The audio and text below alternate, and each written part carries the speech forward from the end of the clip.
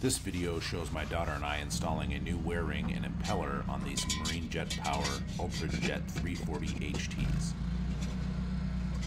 So every once in a while on these jet units you gotta replace the wear ring when it becomes worn or damaged, as mine did last year.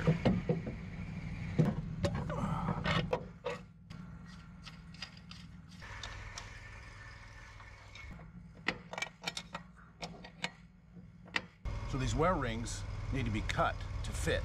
So we got it pressed in as in as much as we can.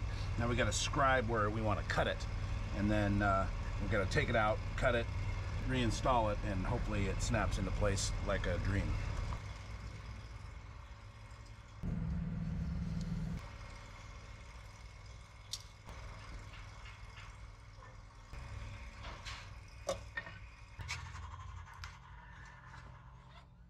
Now we're gonna cut this much out.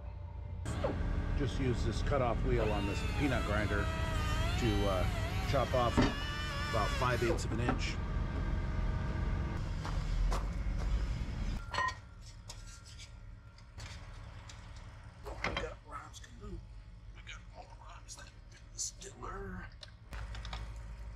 Of course, the worst thing to do is cut off more than you need to cut off because that just renders the wear ring useless. Got it super close. Got it. Right there.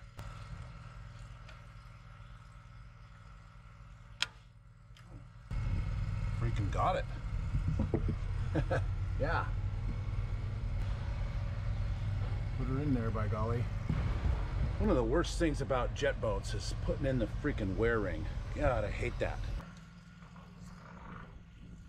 Okay, now we gotta put in this impeller, five bladed stainless steel impeller that was just rebuilt uh, because we beat it up on the beach in Ugashik last year. So it's looking good. We're gonna put it in the hole. Never-Seez. I put that on everything.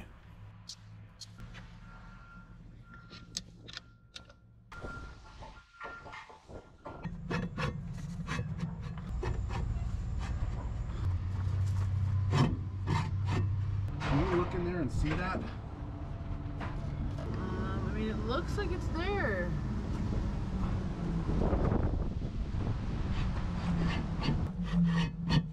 It's because it is there. All right, it's in.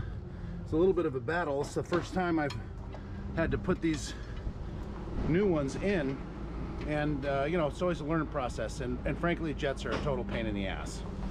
So that's what I know. Uzi 55 millimeter. This is one of those deals that I probably didn't need to spend a bunch of money on this 55 millimeter socket, but it's the right tool for the job. How much was it? I have no idea. I spent $200 in the store that day, and this was part of that part of that purchase. And then what? The buckets go on, or is there more? Yeah. Uh, well, the, the nozzle and the bucket, we took them off in one piece, so those will go on next. Is it going on there at all? Yep. Come up a little. Oh, that, that gave us a nice little wrench. Oh, yeah. We can do it with the wrenches now. Oh, lovely. All right.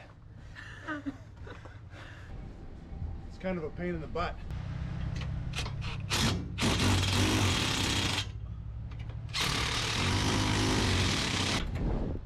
And that's how you install the wear ring, impeller, thrust tailpipe, and steering assemblies. Somehow I lost the footage of us connecting the reverse bucket and steering nozzle linkage for Pete's sake, but that's just two bolts total. You get the picture. Alrighty, we'll see you folks back on the water.